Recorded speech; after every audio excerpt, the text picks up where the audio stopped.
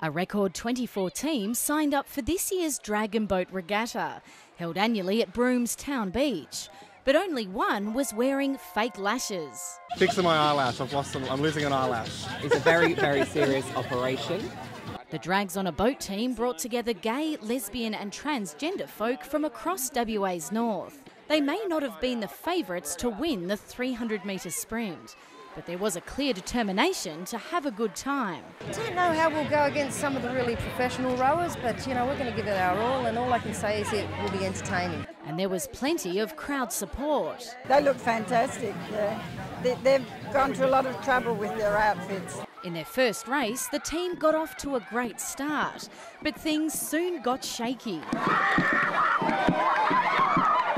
Uh, the boat kind of tipped a little bit, and I just happened to be too far out and just fell in. And less than a minute later, the entire team went overboard. Ladies, what just happened? Uh, we, we took a dive. giving them a chance, giving you them know, a chance. Trying to tell drags to go straight just ain't happening. we got excited because we're catching up. and then we got too excited and rowed too hard, and then all of a sudden we were we were in the drink. The Broome Pride Group formed earlier this year and already has more than 50 members. Some travel hundreds of kilometres from towns across the Kimberley to attend their regular get-togethers.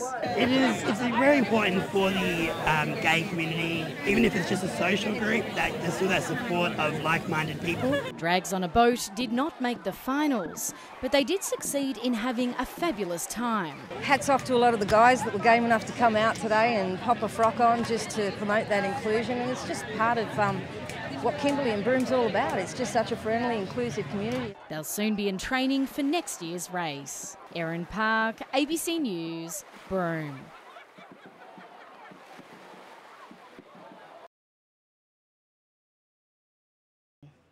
Rowing a dragon boat can be hard enough work at the best of times.